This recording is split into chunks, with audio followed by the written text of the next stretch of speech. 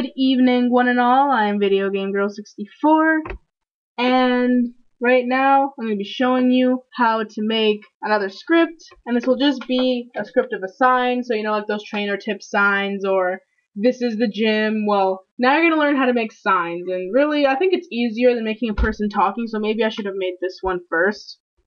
I don't know, but let's get into this.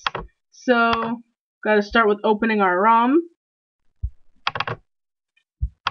getting rid of all that. And like I said last time, we're going to start with this. Still have no clue what this means. Carrying on.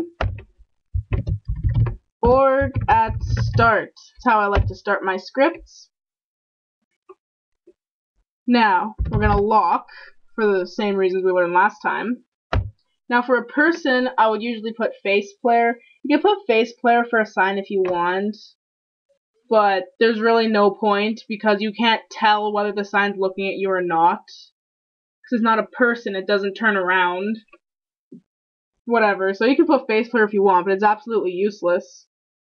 Message box at sign. I don't know, I can't think of a creative name. Sign, please. Uh, I is a sign. That'll be our dialogue that we're gonna work with. Now we're gonna put call std like we did last time after the um little message there. MSG underscore. Now last time we put normal, but this time we're gonna put sign because this is what a sign is written. Like this is what a sign. This is what we're reading off the sign. God damn it, I can't speak. Yes, this is what we're reading off of the sign in the game. Whereas before, it was what someone was speaking to us. Release and end. Yes, I know. Even more simpler than making a person talk to you. We're still not done. Org at sign please. Go down. Equal sign. I is. Oh shit, my bad. I is a sign. Period. Yeah, so, uh, our script right here. We're going to do the same thing as last time. We're going to compile. And we're going to get this fancy combination of numbers and letters. So we're going to slide on over to advanced map. I already have it open beforehand. Uh, can't line it up. We're going to, once again, Pewter City. We're going to go to the events. We see the little girl I made last time. And we're going to, well, before I do that, we're going to go to the map. We're going to go up here. We're going to add a sign. And I want to put it right there. Okay?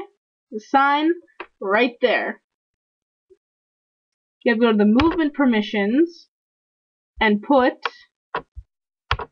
a 1 there, so you can't walk on top of it. This was all stated in my other scripting video about the maps and whatever. I'm not going to go over that again.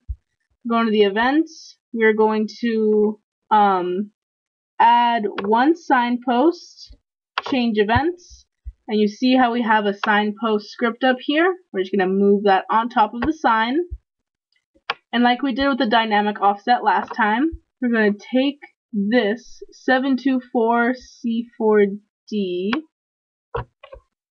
724C4D you just literally plug it into the script offset.